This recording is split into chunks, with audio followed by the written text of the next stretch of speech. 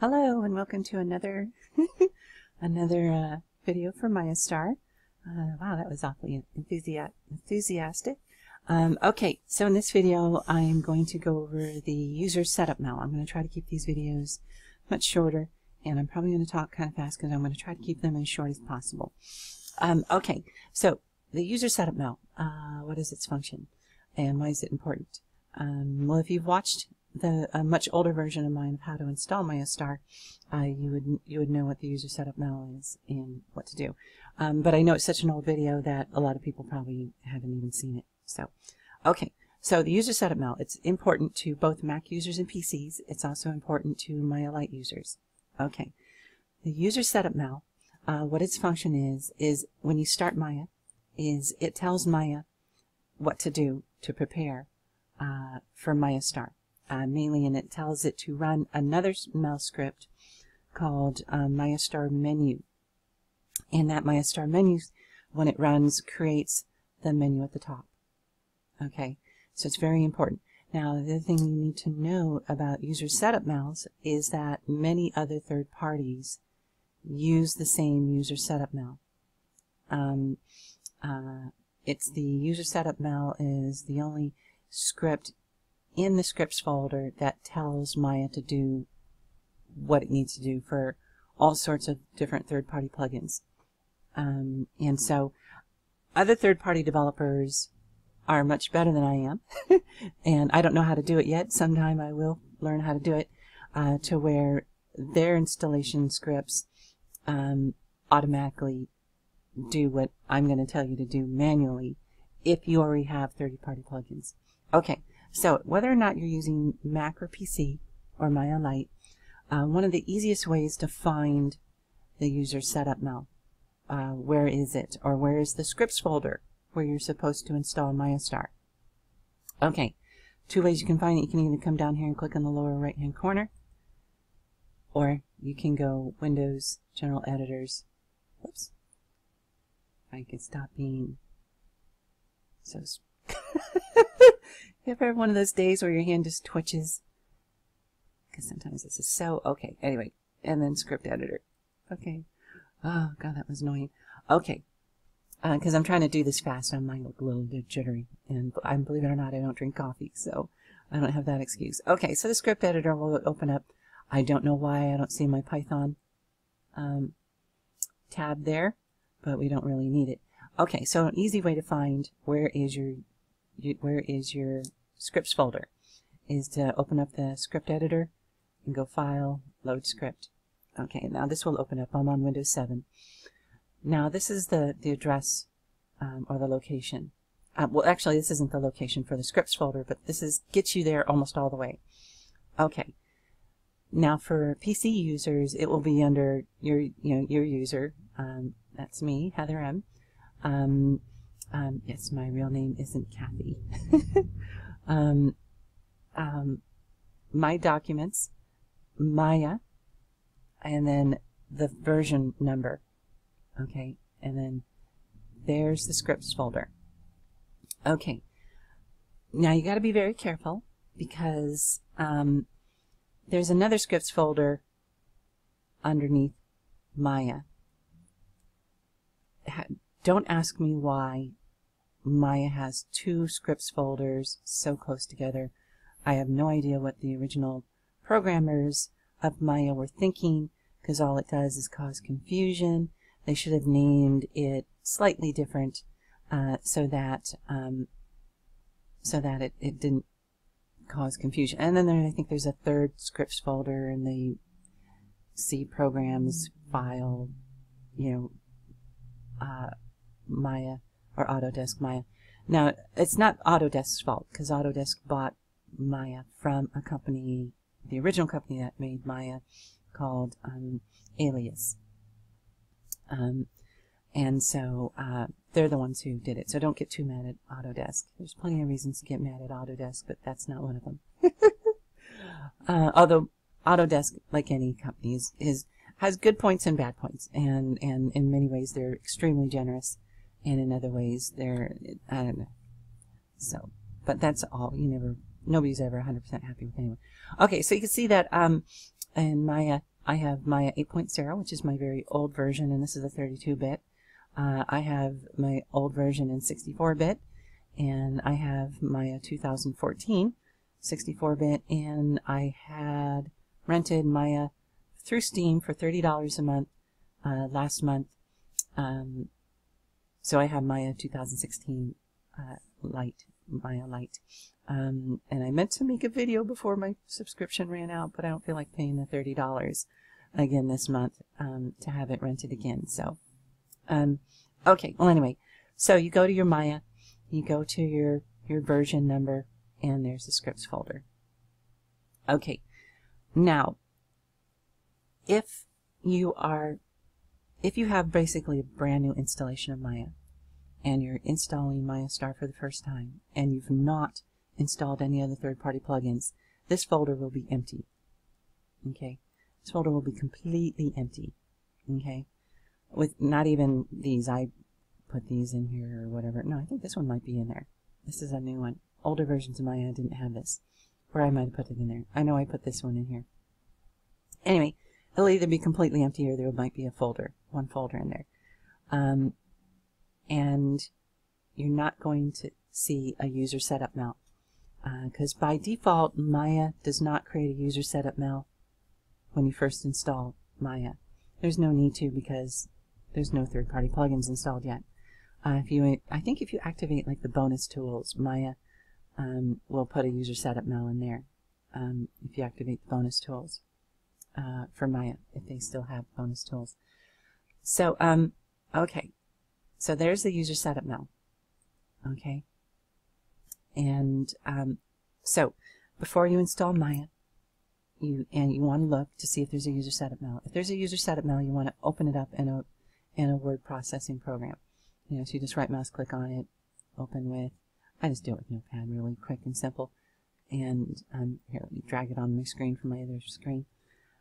Now, if it's blank, good to go. You can close it, forget about it, just overwrite it when you go to install Maya Star with it. for PC users with the exe file.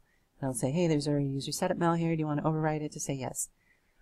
If you find that when you open it up, there's other lines of code other than this source mayastarmenu.mel, then what you want to do is you got a couple of different options.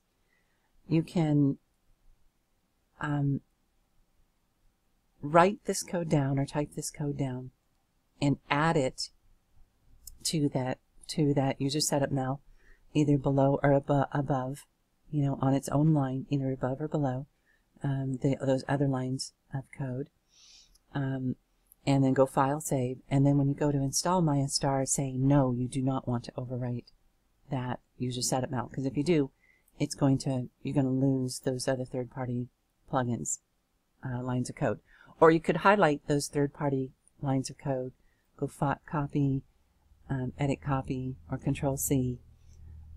Uh, and I would probably file save as and save it as a backup, you know, so change the name here to, you know, something like original and save so you have a backup copy of those third-party plugins um, lines of code. Then install Maya Star and then open it up and then paste you know, it will look just like this, and you paste in those, um, you paste in those third-party lines of code. Now, what these lines of code do is, all it's saying is when Maya Star opens up, uh, not Maya Star, when Maya, first start Maya, um, every time you start Maya, it looks in, it looks for a userSetup.mel, and it runs these lines of code. And all this line of code is saying is it's saying run Maya Star um, underscore um, menu.mel. Okay, that's all it's telling it to do, um, but it's very important that it does. Um, and when it does, in, where is it? MayaStar, there it is, MayaStar menu.mel. That's one of the mel scripts that are installed when you install Mayastar. Um, as you see, there's quite a few mel scripts for Mayastar that I had to write.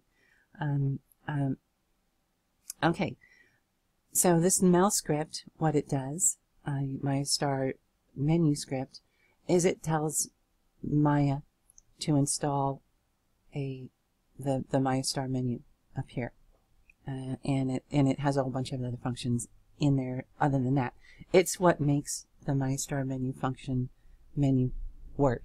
Um, um, so, say you either don't want there to be a Maya Star menu every time you open up Maya, or say you have an older version of Maya Lite. Older versions of Maya Lite, even if there's a userSetup.mel in the scripts folder, will not run the user setup now. And so the Maya Star menu does not pop up. Um, so there is a workaround for that, and it's the same workaround. It's and you do the same thing if you don't want if you don't want a Maya Star menu to pop up every time you start Maya. Um, um, for some reason, everybody has their own personal preferences. You can make a button on a shelf um, that when you click the button, it loads the the the um, the menu at the top of the screen. Um, it will load the menu at the top of the screen, and it will be there as long as you have Maya open. As soon as you close Maya and restart it, the menu will be gone. Okay, so um, oh, and for the, for P, for Mac users, like I said, this you do the same thing of you know of going to the script editor, uh, going to the script editor, opening it up, going load script, and looking for your version, you know, and that will give you the, the address um, or the location of where you should be installing your scripts. Normally, different different versions of Mac, depending on what OS they're running, can be slightly different. The only other thing I can tell you is um, um, I know you have to start at the very bottom. I think you usually have to start off with C drive and then the users and then the your documents folder, and then the Maya, and then and then the script, then the version, and then scripts. I'm pretty sure. Um, um, um, and like I said, it just depends on what OS version of Mac you're running and all this. So um, I don't, you know. The only other thing I can tell Mac users to find the script folder is to go to your C drive or whatever your main drive is um, and do a search over the whole drive for scripts folders. You know, and it's scripts with an S on the end. And then just install MayaStar into every one of those folders. Uh, you'll be able to probably eliminate some folders obviously they don't have anything to do uh, in there. You know, if you look at the address um, or the location for each of those folders and you see that they're in a different program, then obviously you don't want to put it in that. But you can install um, the Mel scripts into every single scripts folder you can find uh, on your on your hard drive, and that will usually um, you'll you'll you'll you'll find you'll install it, and one of those will be the correct one. um, um, and uh, I know it can be a pain, but that's that's what I've had to do. I've helped Mac users. Uh, uh, and a couple of them a number of times where we just couldn't find the right scripts folder and we just finally searched for all of them and put them in all of them. And then it finally worked. Um, we just couldn't, it, it just was, you know, but that's, you know, one of the drawbacks of, of Mac is that different OSs have slightly different um, things. PC users, it's a little bit more straightforward. It's always in your My Documents, Maya, your version number, and then that's in the scripts. Like I said, don't be fooled by this one that's underneath, directly underneath Maya. No, that's not the one you want. It's in the scripts folder. Okay, so that's where you install Maya, uh, Maya Star, and we went over the user setup. Oh, okay, so uh, to make a button. Okay, so to make a button, it's really super simple. I already have one up here, but we'll show you anyway. Uh, this is the same line of code that you saw in the, the userSetup.mel. Exact same code. So you just type it in here or you can copy and paste it if you decide to open up the userSetup.mel, you know, install it someplace else um, without overwriting your original one. Um, and all you do is you type in this line of code, you highlight it, go File, Save Script to Shelf, and give it a name, you know, and click OK. And it will install whatever shelf you have open. So if I had this one open, it would put it at the end of here. You know, if I had this one open, it would put it right here. I just happen to stick it on Polygon shelf. I have a, a ton of mel scripts that I've collected over the years, and a, a couple of them that I that I wrote. Um, uh, simple simple scripts. Um, um, anyway, that I've already incorporated into MayaStar. So anyway, so now what would happen is when you click on this, it would install MayaStar. If I click on it right now, it's going to say you already have error. There's already one there. What you know? Well, I'll show you. Say object name drop down menu is not unique. Name drop down menu is MayaStar, and so that's why it's saying, hey, there's already one there. That's the error. Okay, so you don't have to click on this every time, you know. And then so say you don't want Maya Star to be installed when you open it up. Say you're a PC user and you don't, and, and not a Maya Lite user, and you want to, you don't want it, you would do the exact same thing and then you would just delete the userSetup.mel, or you would, if you had 30 part, party plugins, you just would not put this line of code into the userSetup.mel, and then it, then you just click on this button. So you do have that option. And like I said, older versions of Maya Lite have to do this. Newer versions of Maya Lite, like I rented uh, Maya Lite 2016 last month, and it installed, and the userSetup.mel script worked perfectly. So um, um, newer versions of Maya Lite work just just fine.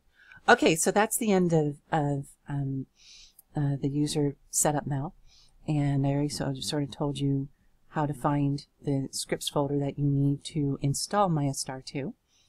And so, hey, a, a record, only 16, 17 minutes. so, alrighty, um, well, we'll see you in the next video, and where I'll go over um, um, the new features of MayaStar 4.5.